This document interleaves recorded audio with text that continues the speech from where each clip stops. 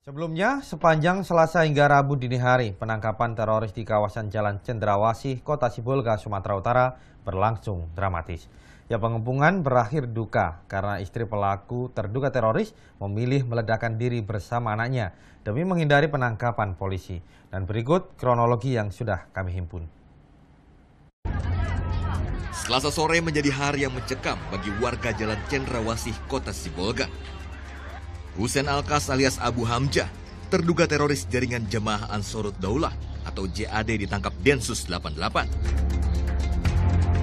Dan ledakan justru terjadi saat polisi hendak memeriksa rumah pelaku. Bom berkekuatan sedang kala itu dilemparkan oleh istri Abu Hamzah. Akibatnya seorang petugas terluka. Usai insiden itu suasana kawasan ini kian mencekam. Polisi pun mengepung lokasi. Saat itu istri pelaku serta anaknya menolak keluar sendiri agar keluar dari dalam rumah untuk menyerahkan diri kepada kami. Kami tunggu di Masjid Ahmursin.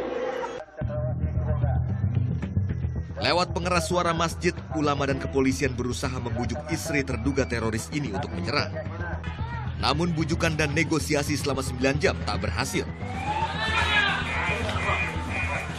Beberapa saat kemudian, ledakan dari dalam rumah terjadi. Kala itu istri pelaku dan anaknya justru meledakkan diri. Warga panik ledakan besar itu membuat sejumlah rumah rusak. Tim Densus dan Brimopolda Sumut pagi ini pun langsung menggelar olah TKP. Diketahui keduanya meninggal dunia karena ledakan bom bunuh diri itu. Tim Liputan melaporkan untuk NET. Terima kasih Anda sudah menyaksikan video ini. Agar kami bisa terus sajikan video berita pada Anda, Ayo subscribe, like, komen, dan share. Aktifkan juga tanda lonceng Anda untuk mendapatkan notifikasi video-video berita terbaru dari kami.